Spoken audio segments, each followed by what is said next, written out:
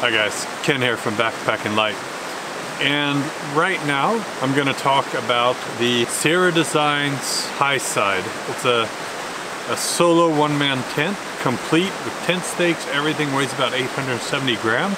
I'm just going to set that up, show you what it's like on the inside, talk about some of the things I like, some of the things I don't like, and uh, hopefully give you a pretty good idea about the high side. So like a lot of the newer tents coming from Sierra Designs. They have this kind of like the side opening and that's the full package and that's got the tent pegs and tent poles in there. So you can see it's quite small. Uh, doesn't even come up to my elbow there. So it's one of the smaller solo tents that you're gonna buy, especially solo double wall tents that you can kind of get a feel for that in the actual weight itself at 870 grams.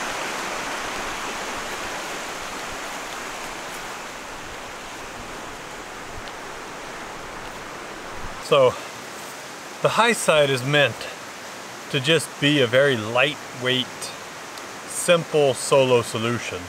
Now I'll show it with the fly on as well, but I just wanted to give an idea of just, you know, how roomy this tent is, even though it only weighs 880 grams. And you can see, yeah, I mean, it's not massive.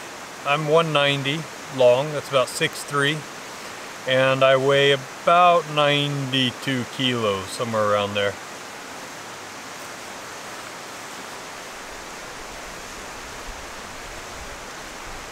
So is it the largest solo tent on the market? No, of course not.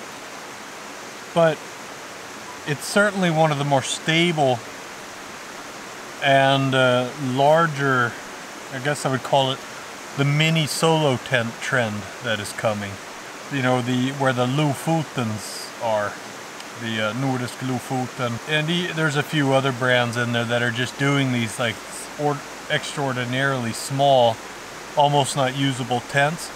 This one doesn't really fit there because it is usable. It is a usable solo tent. And as you can see, you could easily make the case that this is about all you want to do in a tent when you're solo hiking and you're doing fast packing, which is what this is meant for, fast packing. And you can see I have this one side open and I'll show the different configurations as well. Like I'll go ahead and open up this side as well. Yeah. So with this tent, this is something I really like about the Sierra Designs High Side is that you can make a big awning like this and I only have one side up but you could do just the same on the other. So if you're hiking with trekking poles or you're hiking somewhere you know you'll find these long sticks. Just having this very big awning that you can just lay here have that open and just look out. The light Lightheart Gear So Long has an awning as well and there's a, there's some tents, even the, the Tarptent double rainbow. But for me, this is the best implementation of the awning because it's it's not just a side feature that you have to buy something extra for, and it's not just a side feature that you might or might not use. The awning on this is something I've used quite a bit. Now this is your top view, I guess. And you can see how wide that awning is. It's just as wide as the tent itself where you sleep. And it's that extra portion there. And you could easily do it on the other side. Really nice vents down here that are easily stowed away. And it, you can either close it completely or open that up like that. And it's got all these extra guy lines in there and everything is included in the price of it itself. To click on the fly, it's an easy, just simple click. Now I can't actually, maybe I can do it with one hand. No, you can see that that's nice little guy line tighteners.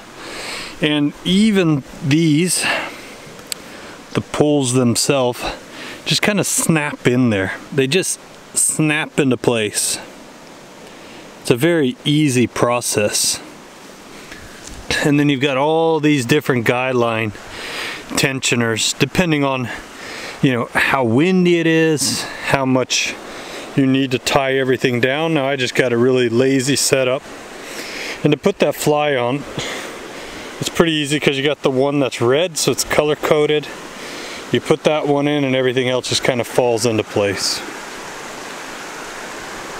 this tent the high side is meant to be for bike packers uh, you know, you don't have your own trekking poles.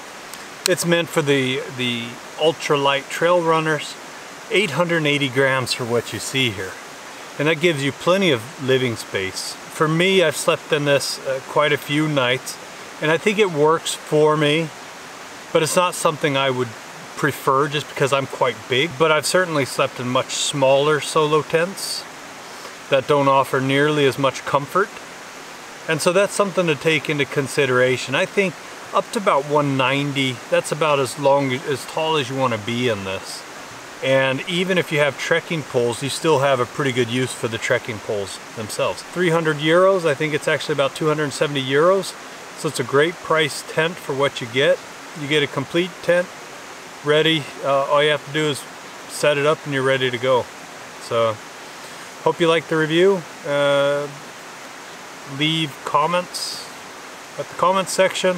If you like Backpacking Light, like our videos, buy our gear. Cheers.